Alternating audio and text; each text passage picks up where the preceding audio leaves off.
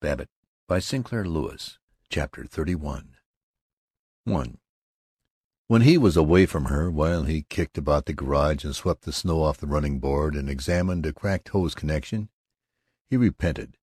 He was alarmed and astonished that he could have flared out at his wife, and thought fondly how much more lasting she was than the flighty bunch.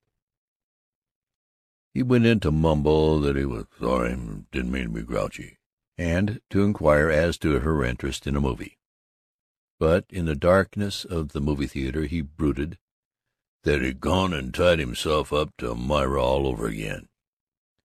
He had some satisfaction in taking it out on Tanis Judique. Hang Tanis, anyway. Why, she'd gone and got him into these mix-ups, made him all jumpy and nervous and cranky. Too many complications. Cut him out. He wanted peace.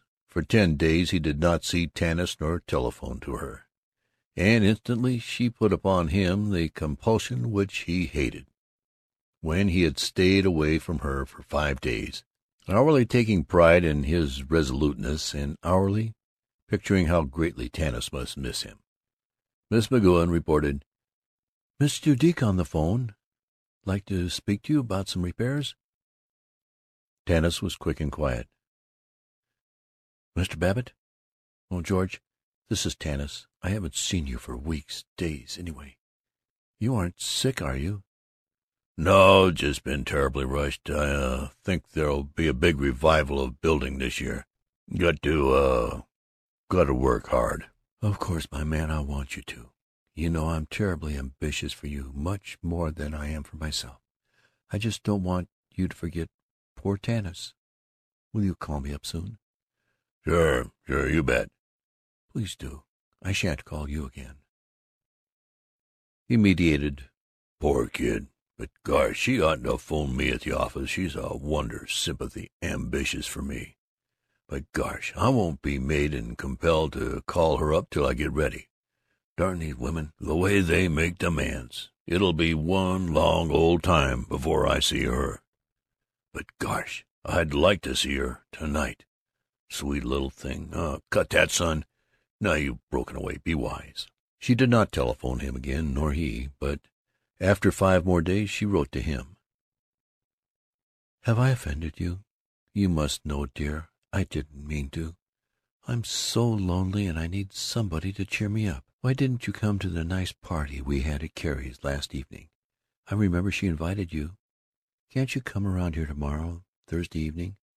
I shall be alone, and hope to see you." His reflections were numerous. "Doggone it, why can't she let me alone? Why can't women ever learn a fellow hates to be bulldozed, and they always take advantage of you by yelling how lonely they are? Now it isn't nice of you, young fella. She's a fine, square, straight girl, and she does get lonely.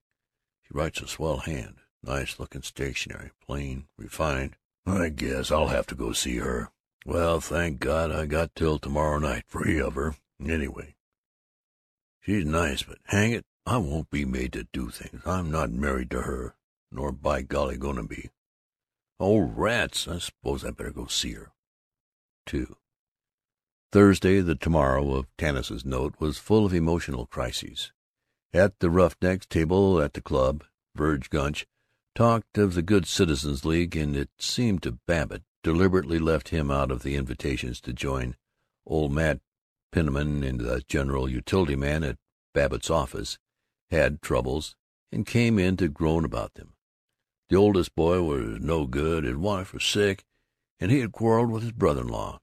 Conrad Lyte also had troubles, and since Lyte was one of his best clients, Babbitt had to listen to him. Mr. Lyte, it appeared, was suffering from a peculiarly interesting neuralgia, and the garage had overcharged him. When Babbitt came home everybody had troubles. His wife was simultaneously thinking about discharging the impudent new maid and worried lest the maid leave, and Tinka desired to denounce her teacher. "Oh, quit fussing!" Babbitt fussed.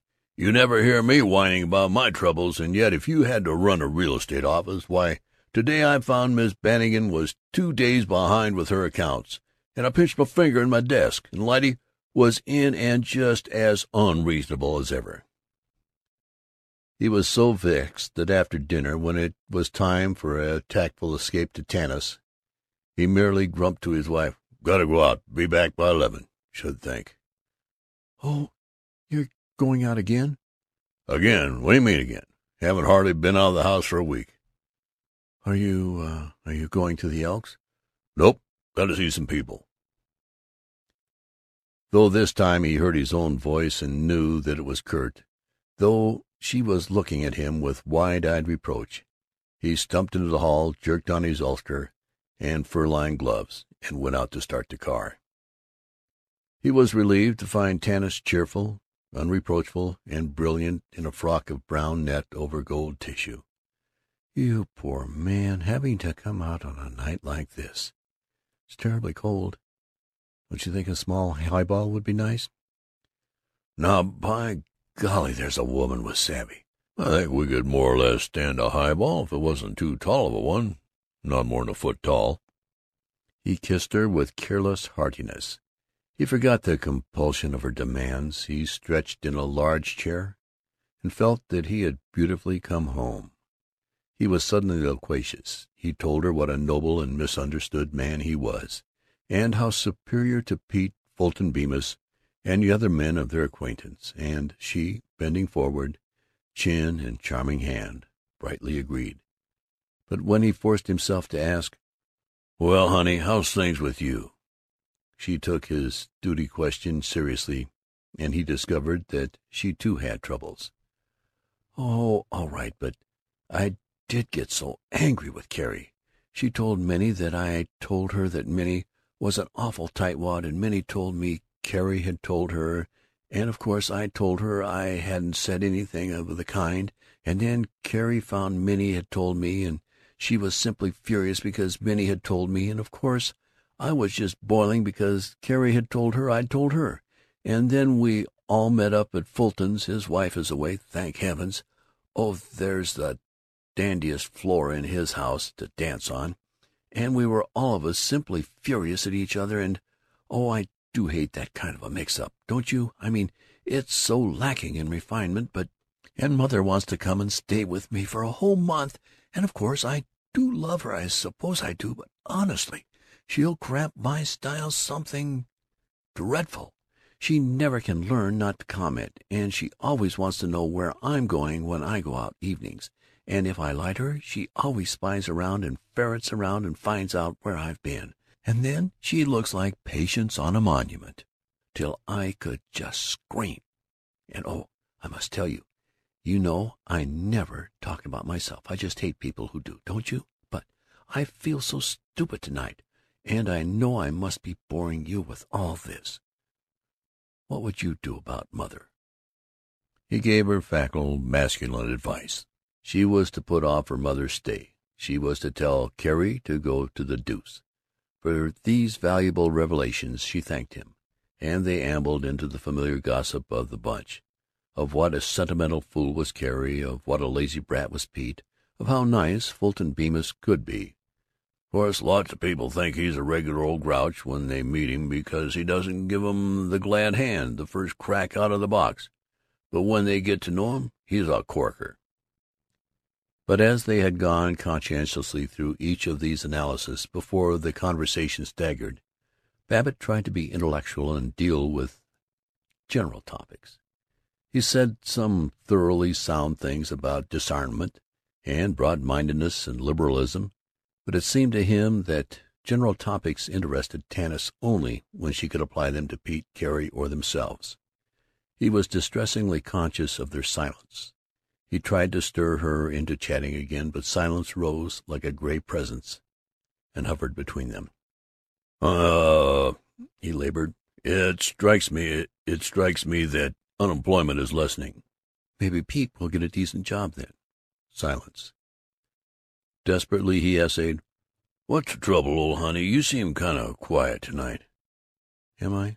Oh, I'm not, but do you really care whether I am or not?" "Care? Sure. Of course I do." "Do you really?" She swooped on him, sat on the arm of his chair. He halted the emotional drain of having to appear fond of her. He stroked her hand, smiling up at her dutifully, and sank back. "George, I wonder if you really like me at all?" "Course I do, silly." "Do you really, precious? Do you care a bit?" "Why, certainly. You don't suppose I'd be here if I didn't." "Now see here, young man, I won't have you speaking to me in that huffy way." "I didn't mean to sound huffy. I just In injured and rather childish tones, "Gosh almighty, it makes me tired the way everybody says I sound huffy when I just talk natural. Do they expect me to sing it or something?" "Who do you mean by everybody? How many other ladies have you been consoling?"